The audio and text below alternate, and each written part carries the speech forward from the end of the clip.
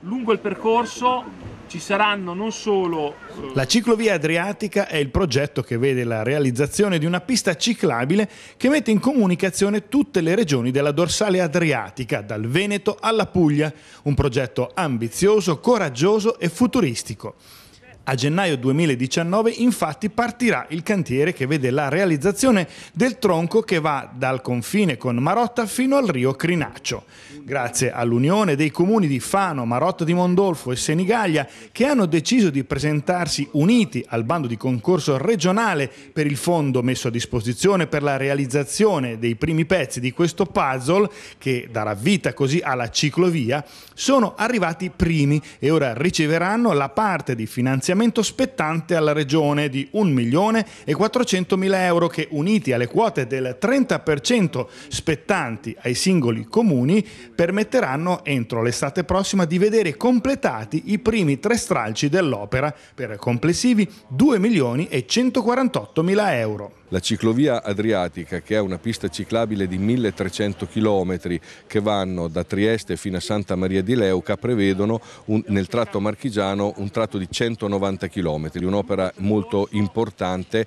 eh, non solo per la viabilità ma anche per il turismo, perché siamo consapevoli come eh, le piste ciclabili realizzate a ridosso eh, de delle spiagge, a ridosso delle stazioni balneari siano eh, di grande sviluppo, perché sul turismo ciclopedonale pedonale c'è un eh, grande interesse non solo a livello nazionale ma direi a livello europeo. Il turismo legato alla mobilità green, al cicloturismo e ai bike hotel è la nuova frontiera del turismo esperienziale, sempre meno stanziale e sempre più attento all'ecologia. Una volta realizzata questa parte del percorso verranno messe in comunicazione le città di Pesaro, Fano, Marotta e Senigallia sino alle porte di Falconara con un innesto con la ciclabile del Metauro fino alle porte di Fermignano, un asse dalla forte attrattiva paesaggistico-culturale per tutto il comprensorio provinciale e regionale, nonché comunale. È un intervento strutturale significativo ma anche di decoro e di estetica che va a migliorare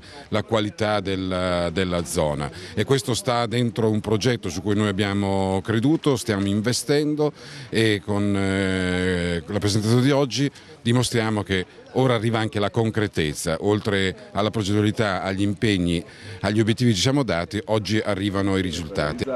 Un'opera che non riguarda quindi